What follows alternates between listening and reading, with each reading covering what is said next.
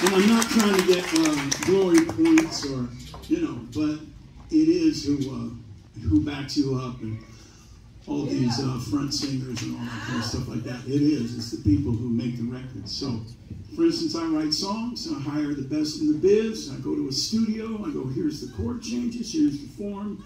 Uh, I need maybe something like the band, or I say something like this, or something like that.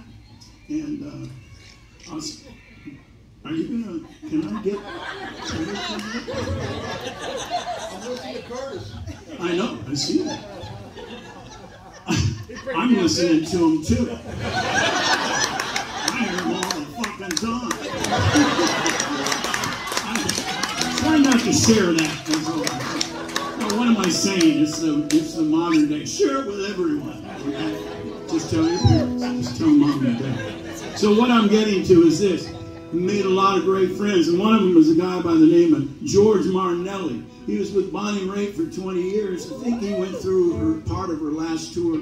He's kind of retired. He uh, was with Billy and the Beaters, and then after that he was with Bruce Hornsby, who I'm sure you guys have heard of. And then he joined Bonnie Raitt, and boom. So he's like what they call a journeyman. He can play mandolin and slide and this and this and this. He can do it all. So we wrote this song, and uh, this is called Precious Time.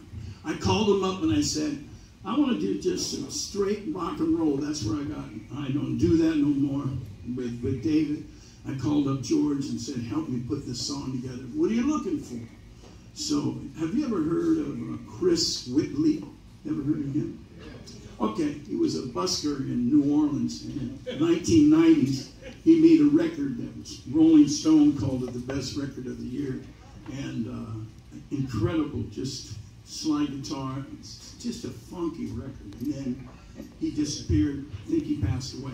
Moving on. Uh, John Hiatt, Bonnie Raitt, the Rolling Stones, on and on. I like it all, man. So here's my rendition of everything. George and I, I think you'll like it. We are now about to tear the roof off the mother son. Yeah. So Listen, we got a little bit of everything. It's called Precious Time, Maestro.